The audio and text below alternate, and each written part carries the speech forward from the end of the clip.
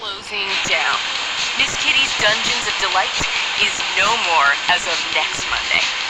Apparently, their building was bought by a large real estate conglomerate who plans on putting in another big chain coffee shop. A coffee shop!